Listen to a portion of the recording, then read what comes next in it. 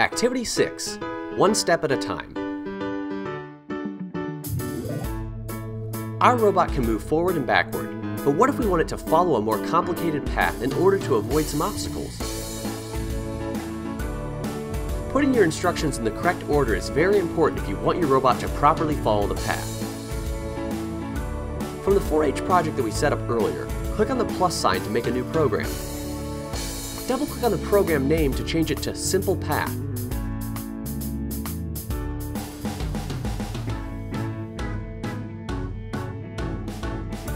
Close the Content Editor area to allow more room. First, let's program our robot to move ahead straight for two rotations. Drag the Move steering block from the Action palette and attach it to the Start block. Let's set the power to 100.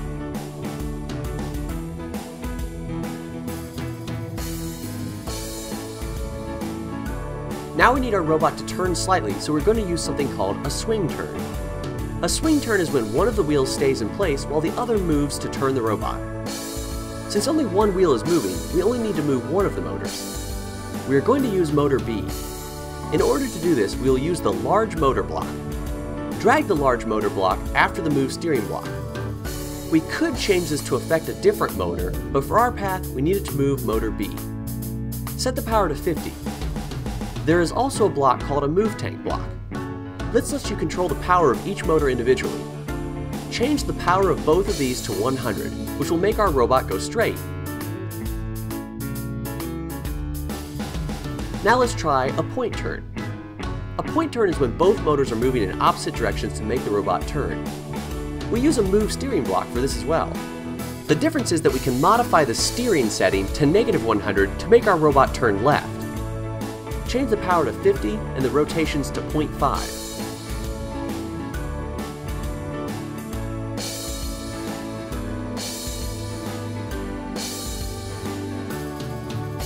Finally, let's try a gradual turn using the Move Tank block.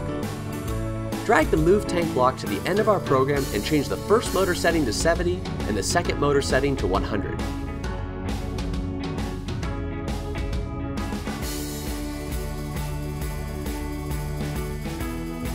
The number of rotations will need to be set at 5. Just so you know, the EV3 counts the rotation of the motor that's moving the fastest.